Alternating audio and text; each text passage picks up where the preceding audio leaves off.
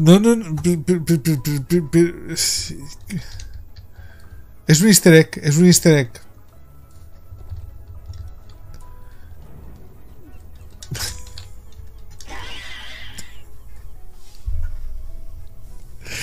Era para comprobar si esto funcionaba.